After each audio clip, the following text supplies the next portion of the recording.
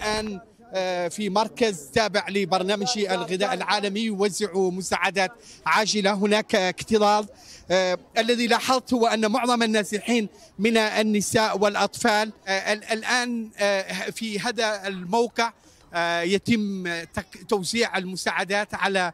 النازحين وكالات الأمم المتحدة تحاول أن توفر ما يلزم لكن الاستجابة الإنسانية في شمال تشاد تبقى ناقصة